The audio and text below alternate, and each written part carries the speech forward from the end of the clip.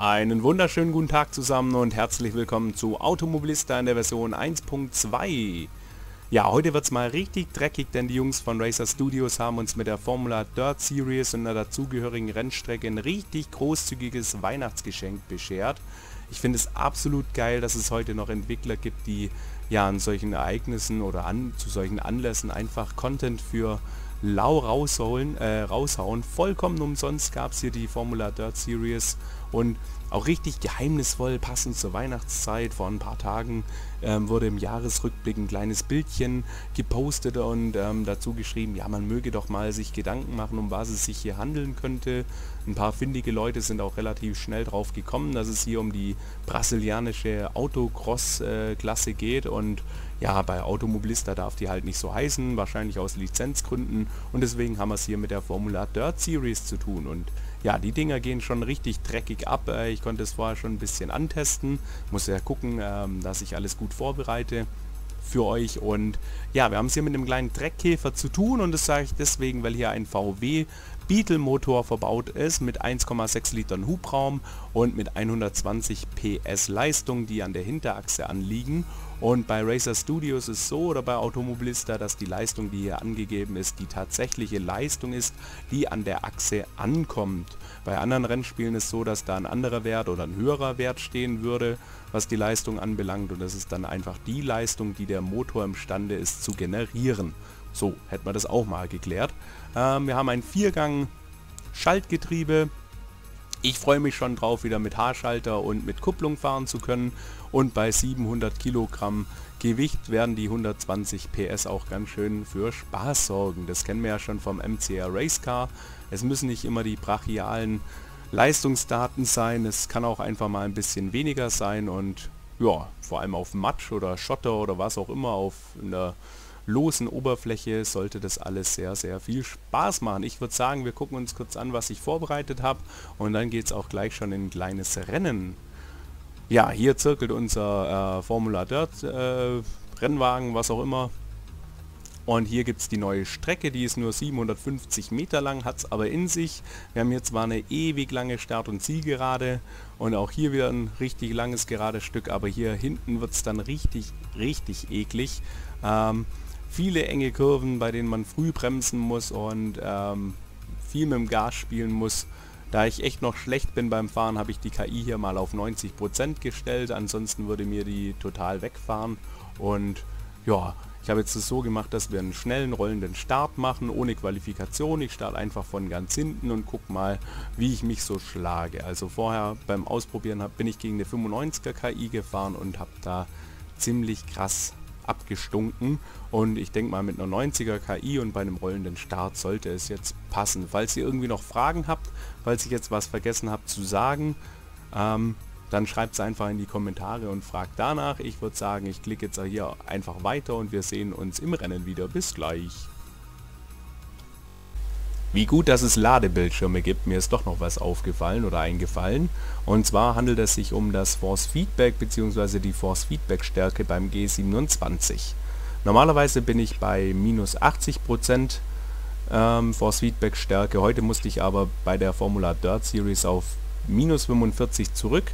Es hat folgenden Grund, mein G27 hat vorher gerattert wie verrückt, der ganze Bildschirm hat gewackelt hier. Und ich hatte echt Angst, dass es jetzt gleich verreckt und den Geist aufgibt, das G27. Ähm, ich habe da ein bisschen gelesen im Forum und der Renato weiß auch schon Bescheid über das Problem ähm, und versucht es in den Griff zu bekommen. Ähm, und solange es da noch keinen Fix gibt, denke, der Fix wird in ein, zwei Wochen oder vielleicht sogar auch schon in ein paar Tagen da sein. Ähm, schraube ich einfach die Stärke hier zurück. Ich habe vorher mit anderen Fahrzeugen getestet. Alle anderen Se ähm, Serien sind nicht davon betroffen oder Fahrzeugklassen. Da kann ich wieder meinen Wert auf minus 80 stellen. Nur wenn ich mit der Formula Dirt Series unterwegs bin, sollte ich den, w äh, den Wert hier reduzieren, damit sich mein G27 nicht in Wohlgefallen auflöst. Das Problem gab schon mal vor mehreren Monaten mit dem äh, Mitsubishi Rallycross. Da habe ich dann äh, ein bisschen an der Real Feel INI-Datei im Hauptmenüordner von Automobilista rumgespielt. Also, also Da gibt es nochmal für jedes Fahrzeug bestimmte Werte, an denen kann man noch umschrauben. So könnte man beispielsweise dieses, ähm, äh, diese Rütteleffekte eliminieren, aber gleichzeitig die Stärke beibehalten. Beispielsweise, also dass ich ähm, ähm, ein sehr starkes oder straffes Rückstellmoment habe und ähm, gleichzeitig eben diese Rütteleffekte ausschalte. Ja, das äh, habe ich jetzt noch gar nicht versucht und möchte ich auch gar nicht, wenn jetzt Razer Studios morgen schon mh, fix raushaut, dann war meine Arbeit umsonst, weil das dauert ein Weilchen, bis man da mit den Werten, bis man sich da auskennt. Deswegen einfach bei einem G27, wenn ihr das Rütteln habt, einfach Force Feedback Stärke rausnehmen, wenn ihr mit den Formular Dirts unterwegs seid und dann sollte alles passen. Wir gucken uns kurz das Setup noch an. Ähm, hier muss man auf jeden Fall ein bisschen Sprit rausnehmen. Moment, 5 Runden sind es, also machen wir lieber 8, dass das passt. Äh, Bremsdruck lasse ich jetzt einfach so, weil wir auf einer losen äh, Oberfläche unterwegs sind. Ähm, Gängeübersetzung habe ich, äh, Getriebeübersetzung habe ich ausprobiert vorher im Testmodus und bin zu dem Schluss gekommen, dass ich die lieber so lasse. Wenn ich das Getriebe kürzer übersetze oder die Gänge kürzer übersetze, dann habe ich das Problem, ähm, dass im ersten und zweiten Gang immer die Räder durchdrehen und ähm, ich das nicht in den Griff bekomme. Vielleicht auch aufgrund des fehlenden äh, Force Feedbacks. Ich habe keine Ahnung, auf jeden Fall liegt mir das absolut nicht, wenn ich hier äh, mit, einem kürzeren, mit einer kürzeren Übersetzung unterwegs bin. Ja, an der Federung oder ja, an der Aufhängung werde ich überhaupt nichts ändern, da ich mit der Formula Dirt Series überhaupt keine Erfahrung habe und nicht weiß, ähm, inwiefern das Fahrverhalten durch die Veränderung dieser Werte hier beeinflusst wird. So, nicht erschrecken, wenn ich jetzt gleich auf den Pfeil klicke. Es geht dann gleich brachial los. Wir haben schnellrollender Start gewählt und da habe ich mich vorher ein bisschen erschreckt, denn schnellrollend heißt, es geht gleich voll in die Action rein. So, habe ich zu viel versprochen. Jetzt habe ich schon die Kontrolle hier. Und die fünf Runden starten.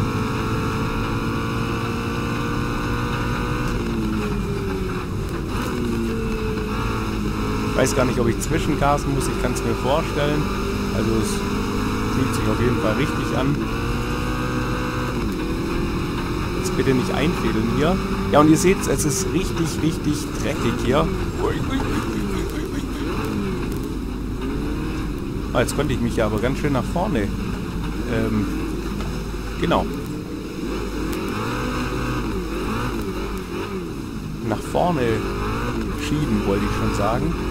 Nee, konnte ich gar nicht. Jetzt muss ich gucken, dass ich hier einen Anschluss wiederfinde. Und irgendwie...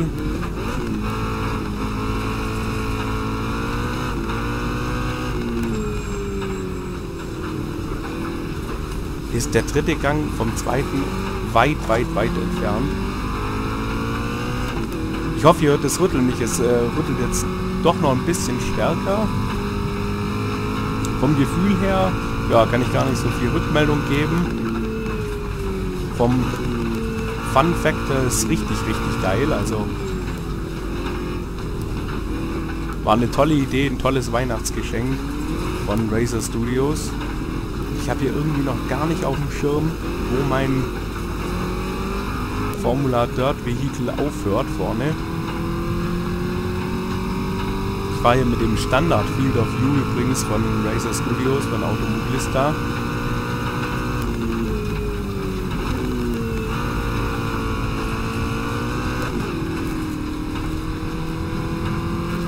Ja, und was halt richtig geil ist, dass einem die ganze Zeit dieser Staub ins Gesicht schlägt.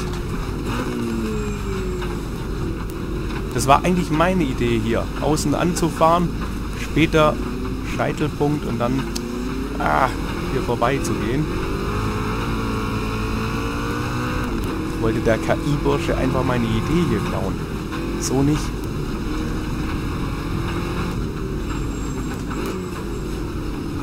Die Kurve ist so mies.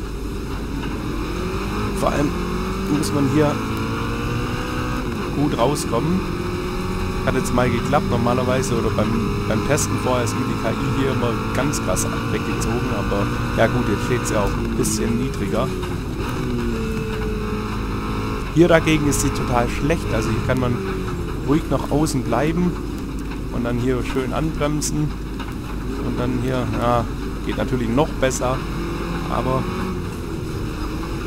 habt gesehen, die KI ist hier noch nicht so dominant unterwegs. Beziehungsweise fährt die un unkonstant.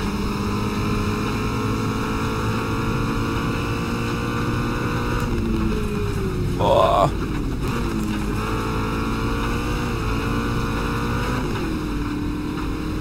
Ja, und vom zweiten, dritten ist echt mies. Da geht dann die Drehzahl so abartig in den Keller, dass der dritte Gang nichts mehr reißt.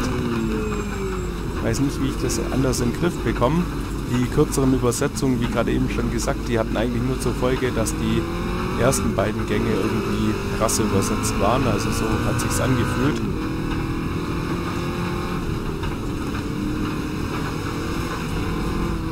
Oh, ihr bremst so früh. Ich bin voll der Besser, äh, der, wie sagt man, Berserker, sagt man das so? Berserker? Vielleicht so, muss man nachgucken, man das so ausspricht und schreibt und so weiter und so fort. Auf jeden Fall bin ich voll gewalttätig unterwegs. Ich ramme die hier gerade die ganze Zeit, aber die, die bremsen echt... Äh, okay, das war jetzt nicht beim Bremsen, es war reingelenkt in die KI. Ähm, aber die machen komische Sachen hier teilweise.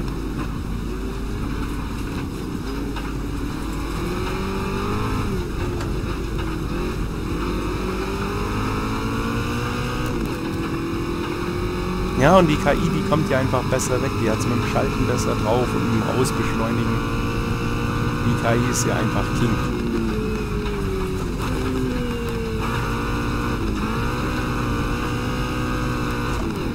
Und ich weiß nicht, ob hier Driften wirklich sinnvoll ist. Also bei den bei der na, Rally Cross Series. Da ist ganz gut mit dem Mitsubishi. Bisschen rumzudriften, hilft manchmal.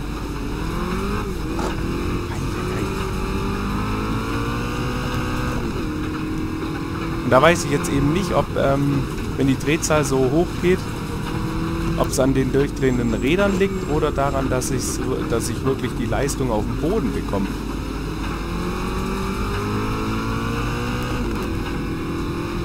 Aber vielleicht ist das der Reiz hier, dieser Dirt Series.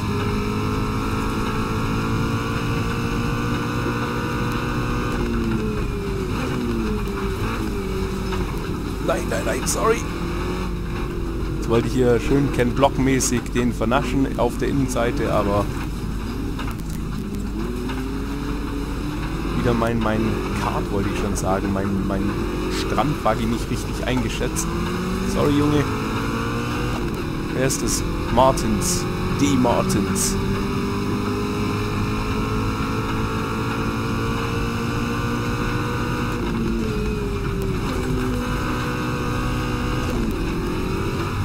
Nein, nein, nein, nein, nein, komm. Oh, jetzt wollte ich auch wieder schön hier rumdriften. Aber hat alles nur Zeit gekostet.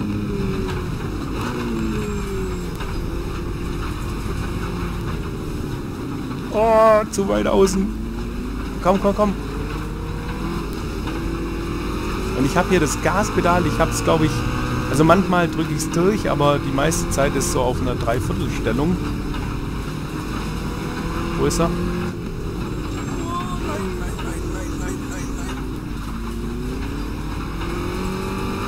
Weg ist er. Sehr gut. Und letzte Runde. Da kam vorher wieder die Meldung, manchmal, manchmal sieht man das einfach nicht. Da ist man einfach blind für alle anderen Sachen, wenn man hier fährt. So wie mit den äh, mit Wortfindungsstörungen, mit denen man hier kämpfen muss.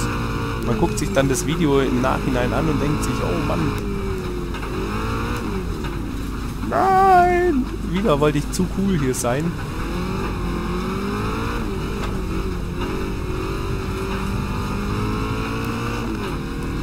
ja, macht auf jeden Fall Laune hier. Jetzt hat es besser geklappt. Tut mir leid, dass ich jetzt so, so ja, das Rennen hier dominiert habe. Das liegt mir eigentlich immer fern.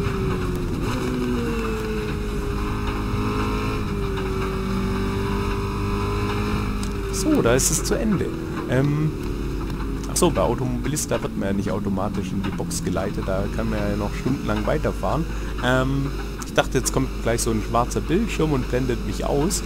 Ähm, was ist euer Eindruck? Ich finde es also ich find's richtig geil, um Spaß zu haben. Ich weiß nicht, ob ich so als ehrliche Rennserie, ob ich jetzt eine Meisterschaft darin fahren würde. Wahrscheinlich eher nicht, wenn ich Bock habe irgendwann mal so ein bisschen am Abend noch so rumzucruisen und Spaß zu haben, auch gerade mit Unfällen und so, wie jetzt hier, also es gab viel Kontakt ähm, und das Auto wird nicht wirklich beschädigt oder dieses Autocross-Dingens hier, ähm, dann eignet sich das ganz hervorragend, aber so als wirklich richtiges, ernstzunehmendes ähm, ja, Rennklassen-Event, ja, weiß ich auch nicht. Also, keine Ahnung. Ihr könnt ja mal in die Kommentare reinschreiben, was ihr davon haltet, wenn ihr es schon ausprobiert habt oder wie ihr es so findet von dem, was ich jetzt gezeigt habe. Wie gesagt, zum Force Feedback konnte ich jetzt nicht viel sagen. Ich warte einfach auf den Fix von Racer und ähm, ansonsten, ihr habt gesehen, die KI war jetzt auf 90% gestellt. Ähm, ich bräuchte vielleicht nochmal so einen Zwischenwert zwischen, einen, äh, zwischen 90% und 95%, dann wäre es vielleicht ein interessanteres Rennen. Ja, aber ansonsten macht auf jeden Fall Laune, sieht geil aus, die Strecke ist auch cool, die werde ich auf jeden Fall noch mit den Mitsubishis antesten, vielleicht sogar mit den Super Trucks, mal gucken, ob die auf so einem Untergrund auch zurechtkommen. Ähm, in Automobilista ist grundsätzlich alles möglich, wenn man auf All Tracks und All Cars geht. Von daher, da sind der Kreativität keine Grenzen gesetzt. Ähm, ich sage vielen Dank fürs Zusehen. Ähm, tut mir leid, dass es heute ein bisschen verplantes Video war, aber das bringt, glaube ich, diese Rennklasse so mit sich. Ähm, dreckig wurde es auf jeden Fall. Wir können ja mal hier rausgucken, ob wir Dreck angenommen haben. Ne, sieht nicht so aus. Ich glaube, die Lackierung ist standardmäßig, äh, standardmäßig so, aber naja, gut. Es war auf jeden Fall dreckig von meiner Fahrweise her. Das, äh, die Prämisse habe ich auf jeden Fall erfüllt und ja, ich sage vielen Dank fürs Zusehen. Zum Abschluss gibt es noch ein bisschen Sound von außen, wenn es klappt. Ja, reißt einen jetzt nicht so vom Hocker, aber ähm, ich werde auf jeden Fall noch was von der Wiederholung ranpacken, da hört man es dann auch. Also vielen Dank fürs Zusehen, ähm, weiterhin schöne Zeit und ähm, guten Rutsch nochmals, falls man sich nicht mehr hört, sieht, wie auch immer. Ähm, bis zum nächsten Mal, mich würde es freuen, wenn du oder wenn ihr beim nächsten Mal wieder mit dabei sein würdet. Viele liebe Grüße von mir und auf Wiedersehen. Tschüss.